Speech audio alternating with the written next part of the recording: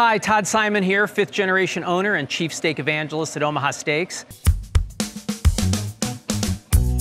Today I'm gonna show you how I smoke and then grill a 36 ounce Omaha Steak tomahawk ribeye. The marbling in the tomahawk is so perfect. Uh, you can feed two hungry people uh, with one of those steaks. Or if you really wanna go crazy, you can give everybody their own tomahawk. You'll need some bigger plates though. I've got my Traeger smoker. It's already heating up, getting ready. I'm gonna start out by drying the meat off just to make sure it's ready to take the olive oil that I'm about to brush onto it. Just gonna lightly brush this beautiful tomahawk. And the thing I like about the Private Reserve rub is it's got an amazing blend of spices, including really what I consider a secret ingredient, which is caraway. Adds a special flavor to the meat. And because I'm a salt fanatic, I'm gonna put a little extra salt. There's already rock salt in the Omaha Steaks rub, but I'm gonna add a little bit more salt. Now that both tomahawks are seasoned up, we're gonna get ready to put them on the smoker for the first stage of their journey to my plate.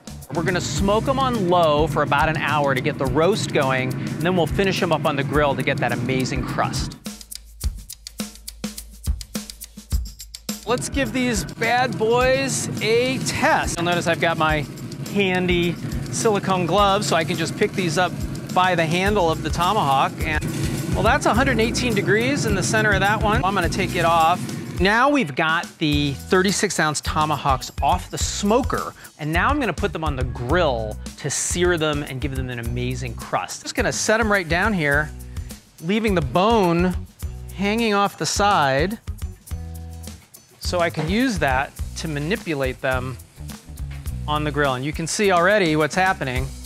We've got some flames starting to pop up. I want the fire to give them the perfect char, but I don't want them to get overcharred. Okay, I'm gonna go ahead and turn these over. So this one is done.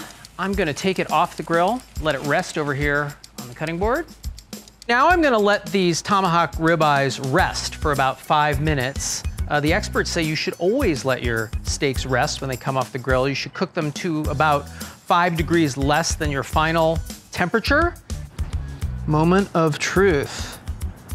Cutting right through the middle of this.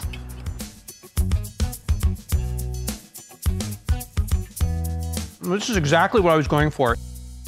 It's absolutely spectacular.